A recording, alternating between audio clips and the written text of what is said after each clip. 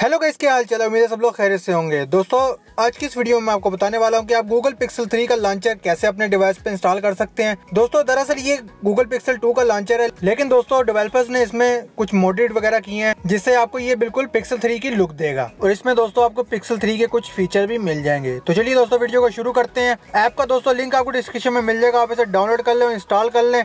ये आप लोग देख सकते हैं, दोस्तों, आपको इस तरह का इंटरफेस मिल जाएगा यहाँ पर। आप इस तरह से स्वाइप कर ले, आपको यहाँ पर गूगल कार्ड मिल जाएँगे। आपको यहाँ पर नीचे दोस्तों सर्च बार मिल जाएगा और इसके साथ आपको यहाँ पर ये गूगल असिस्टेंट का भी आइकॉन दिख जाएगा। ये आप लोग देख सकते हैं। यहाँ पर आपको सर्च बार भी मिल जाएगा। और दोस्तों बाकी इसमें फीचर बिल्कुल सेम ही है, जो कि आपको गूगल पिक्सल 2 के लॉन्चर में मिल जाते हैं। और ये आप लोग देख सकते हैं, इसमें भी ऑटो रोटेटिंग डिजेबल्ड है। इसकी सेटिंग में चले। सेटिंग में आ जाने के बाद दोस्तों आप यहाँ से इनेबल कर सकते हैं और नीचे आप इसके कस्टमाइजेशन के ऑप्शन में भी जा सकते हैं। इसके ऑप्शन को सिलेक्ट कर लें। यहाँ पर आपको काफ़ी सारे ऑप्शन मिल जाते हैं, जैसे कि आप सर्च बार को इनेबल डिजेबल कर सकते हैं यहाँ पर। एप्स को हाइड वगैरह कर सकते हैं। जैसा कि दोस्तों आप लोग देख सकते हैं, इस पर टैप कर लें और यहाँ पर जितने भी ऐप्स आपके ऐप डोर में होंगे, आप वहाँ से कोई भी ऐप को हाइड कर सकते हैं सिलेक्ट करने के बाद। ये दोस्तों यहाँ पर एड ग्लास को डिजेबल कर सकते हैं आप यहाँ पर। यहाँ पर दोस्तों आप डार्क टेक्स्ट यूज़ कर सकते हैं और डार्क थीम भी यहाँ पर यूज़ कर सकते हैं। और ये दोस्तों आप इसके अबाउट में देख सकते हैं कि इसकी वर्जन जो है वो गूगल पिक्सल 2 की है, लेकिन इसे मॉडिट किया गया है। और दोस्तों ये काफ़ी स्टेबल भी है और आपके डिवाइस पे काफ़ी स्मूथली वर्क भी करेगा।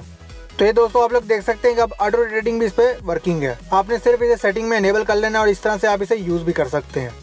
ये दोस्तों आप इसकी ट्रांजेक्शन वगैरह देख सकते हैं और इसमें दोस्तों आपको थ्री डी लाइक फ़ंक्शन भी मिल जाता है। जैसे आप किसी भी आइकन पे अगर टैप करके रखते हैं इस तरह से, आपको यहाँ पर और कुछ ऑप्शन मिल जाएँगे उस ऐप के बारे में। ये जैसा कि आप लोग देख सकते हैं यहाँ पर कुछ ऐप्स दोस्तों इसमें स्पॉटेड नहीं है तो आप इसे यूज़ कर सकते हैं। तो दोस्तों ओवरऑल आप इसकी लुक देख सकते हैं, काफ़ी अच्छी है और गूगल पिक्सल टू के लॉन्चर से काफ़ी अलग है। तो दोस्तों, इसके ऐप का लिंक आपको डिस्क्रिप्शन में मिल जाएगा, आपने इसे डाउनलोड कर लेना और इंस्टॉल कर लेना बिल्कुल एक नॉर्मल ऐप की तरह। तो उम्मीद है दोस्तों, आपको वीडियो अच्छी लगी होगी। वीडियो अच्छी लगी हो तो उसको लाइक कर लें शेयर कर लें और कॉमेंट सेक्शन में बताएँ कि आपको अगली वीडियो किस टॉपिक पे चाहिए। और दोस्तों चैनल को सब्सक्राइब कर लें और नोटिफिकेशन बेल को भी ऑन कर लें, ताकि मेरी कोई भी वीडियो आपसे मिस ना हो। तो एक बार फिर दोस्तों, आपसे एक नई वीडियो में मुलाकात होगी। तब तक के लिए good bye and take care